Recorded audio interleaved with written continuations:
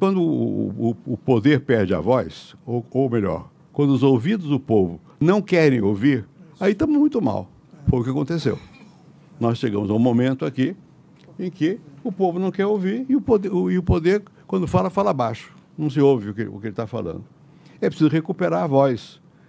Agora, essa recuperação não é só da elite dirigente. É preciso que a população também sinta, porque senão vem a ira mesmo. E há esse risco que o Cristóvão mencionou. Nós estamos num momento difícil, delicado. Nós não temos como sair disso se não for pela, pela democracia. Mas é difícil fazer democracia num país que não tem um sentimento nacional. Porque o Brasil não vota. Quem vota são os brasileiros. E é uma diferença radical entre os brasileiros e o Brasil.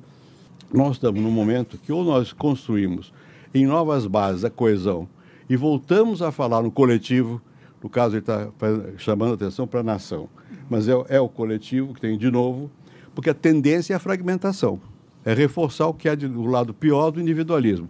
Mas não dá mais para voltar no coletivo autoritário. É um coletivo que as pessoas querem dizer, eu, vou, eu vou, estou nesse e não naquele. A pessoa conta. Não é mais o individualismo que se falava possessivo, do, do, do, do que, que, se criticava, mas é outro tipo de gênero. Eu quero participar como pessoa. Não me venha com o prato feito que eu não, eu não vou comer. Então é muito complicado. E isso está desafiando os políticos que não sabem como se relacionar com esse novo mundo que está em ebulição aí. Nós vamos precisar de duas coisas em 2018 nos discursos dos nossos candidatos: como retomar coesão e definir um rumo. Como retomar coesão no, no presente, passarmos a divergir, brigar, mas como um só conjunto de seres humanos chamados Brasil. Como retomar coesão? E depois, como, no meio dessa crise tão grande a cada dia, como pensarmos 20, 30, 40 anos na frente, tendo um rumo de para onde queremos chegar.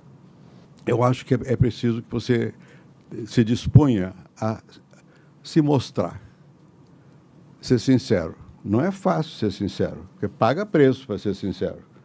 Mas é preciso que, que os líderes se, se mostrem, porque senão as pessoas não acreditam.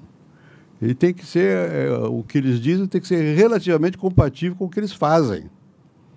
É? E, a, e, a, desconfiança é grande, porque se quebrou o encanto.